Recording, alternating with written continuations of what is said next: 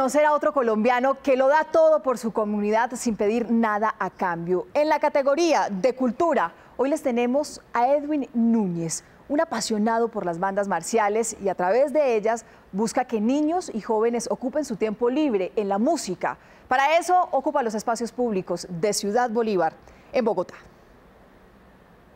Un, dos, tres.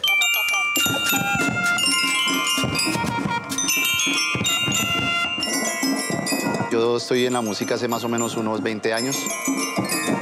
Trabajo con los niños desde hace más o menos unos 12 años. Edwin para mí es como mi papá. Él es mi padre, mi mentor, mi maestro desde, desde que comencé, desde los 13 años. Yo soy Edwin Núñez, formo y protejo niños de Ciudad Bolívar a través de la música y el respeto por la vida. Yo enseño a hacer música y enseño a ser personas también. Yo creo que es una oportunidad nueva eh, para todos los que de alguna u otra manera no tienen algunos recursos o quieren aprender algo. Entonces yo creo que esta es la mejor manera de aprender. Enseño a querer y a tener amor por nuestro país, por nuestras cosas. La mayor satisfacción, poder eh, llevar a mis chicos a presentarse.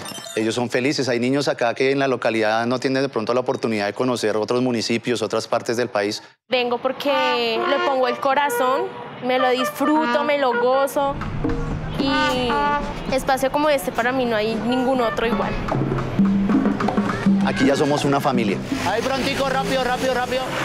O sea, a mí me emociona entrar a la banda porque allá uno puede hablar con sus amigos, expresarse, no hacer violencia física, sino desestresarse musicalmente.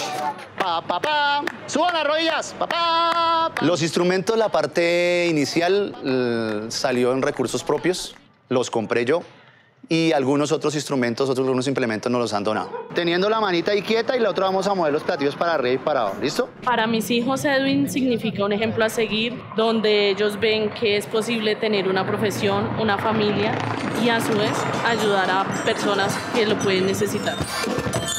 Y por acá ha pasado mucho, mucho muchacho, mucho que hoy en día son profesionales, son contadores públicos, abogados. Y entonces tú quieres, quieres participar en la banda, pero es una satisfacción muy grande poderle entregar un instrumento a un niño y que empuñe un instrumento y de pronto no, Dios no lo quiera, empuñe un arma. Un, dos, tres. Un, dos, tres. Estamos tratando de formar sociedad. Tres. Un, dos, tres. Esto es como una puerta nueva para mí. O sea, no, para no estar en la calle ni, ni metido en los vicios.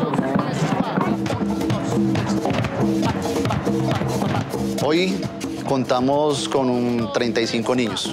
Sueño tener 500. No importa, la- aquí hay cabida para todos los que quieran participar con nosotros.